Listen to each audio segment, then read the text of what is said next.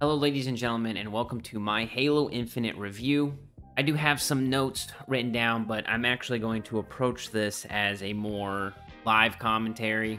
I just think it'll flow better. But before we get into the actual commentary, I would like to know your opinions in the comments down below, how you feel about Halo Infinite, what's good, what's bad, what's ugly, what needs to change. If you enjoyed this video, throw a like on it as it helps me a lot. And if you're feeling generous, go ahead and throw a sub my way as I grind away towards 10,000 subscribers. Alright, let's get into the review. We all know that first impressions are key in today's gaming world, and there's been much fanfare surrounding Halo and its newest game. Now, after the delay, there was a sense of doom in the air.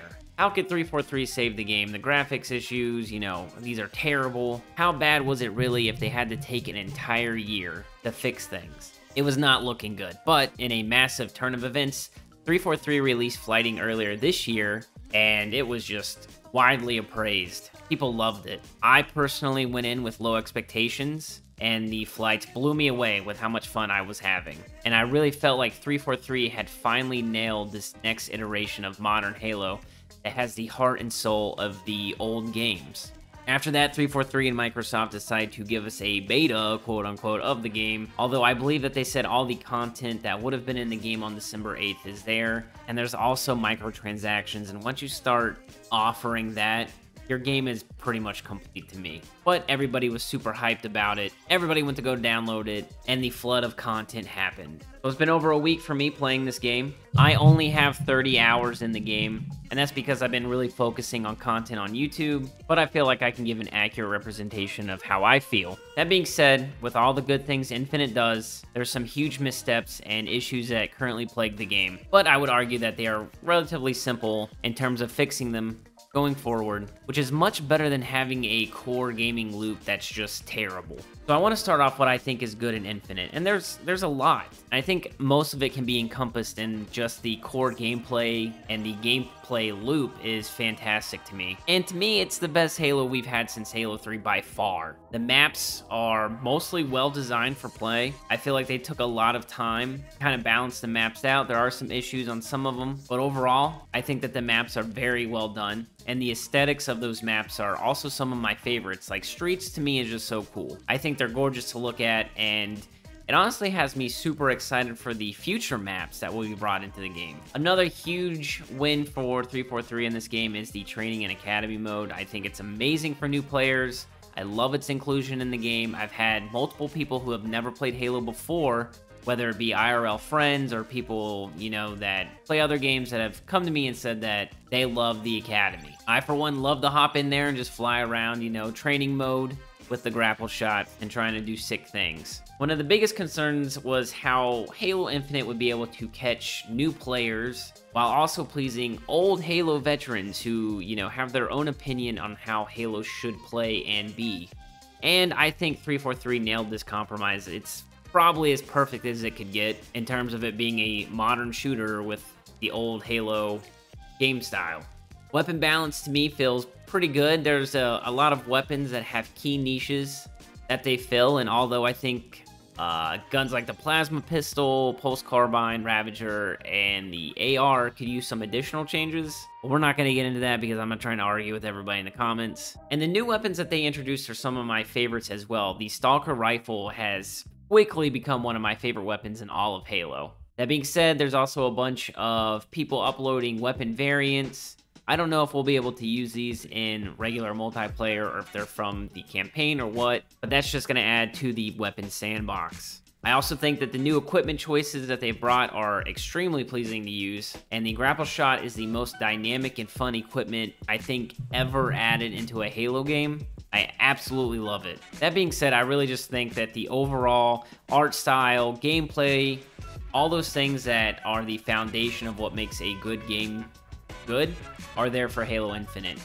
And now we come to what's bad, and there are some very key issues that I have with Halo Infinite as of right now. Microtransactions. I made a whole video on this topic. I'll link it in the description and in the comments, but to sum it up, it's not a good time. That coupled with the progression and unlocks and how the progression system is challenge based, it feels extremely unrewarding because you just keep, you know, playing games, playing games, and if you don't actually do any of the challenges, you're only getting 50 XP for completing the game.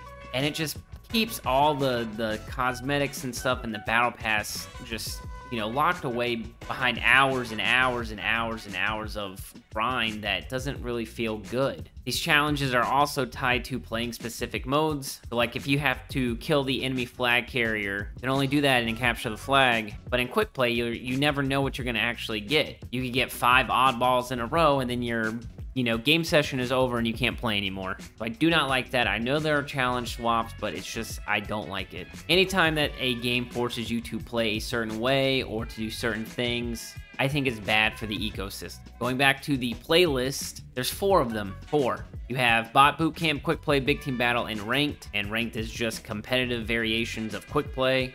And to me, that is unacceptable. We had an event where Fiesta arrived, and it's it's just an event exclusive playlist, and I think to lock a mode like that behind an event is extremely disheartening. Infection and Grifball are also missing, along with SWAT and just a multitude of other game modes. And it's weird to me because Halo doesn't have a population issue right now, and to limit game modes to just, you know, the four playlist, and not even including a regular Team Slayer or free-for-all, is just absolutely mind-boggling to me. Halo needs these social and party game modes, and it needs them fast, especially with how the custom games works and Forge delays. It, these games need to be brought to Halo Infinite right now. Another issue that I see a lot of people have, I don't personally have it, audio is messed up for a lot of players right now. Sometimes you can't hear a Spartan next to you or tell how close that Spartan is when they're shooting at you. I think this also goes hand in hand with the radar not being extended far enough. And anecdotally, the amount of times that I've been just ran up by someone who's not crouching or in camo and attacked me before I even knew they were there is far more than any Halo game I've ever played. And I've gone through theater just to make sure that these people aren't crouched or invis, and I'm still getting surprised. I also think that the melee system is broken. It's either like you lunge forever away or it's just extremely inconsistent with its range. I think that that needs a look at. I I actually actively avoid meleeing completely in this game because of how inconsistent it is.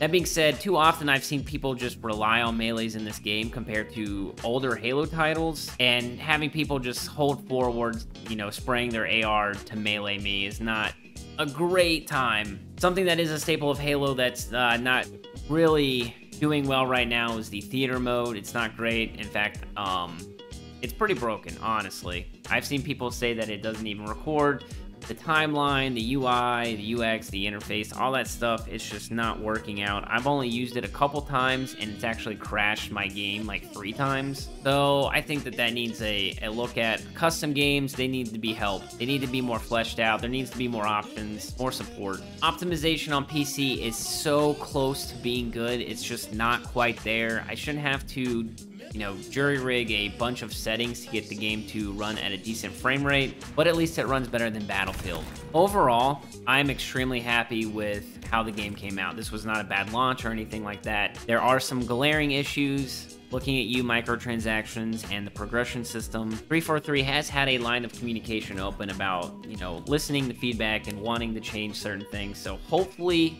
we can revisit this in like six months and the game will be completely different, but in a good way. That's to do it for the video, ladies and gentlemen. If you enjoyed, make sure you leave a like. If you're new to the channel, make sure you subscribe and I will catch you in the next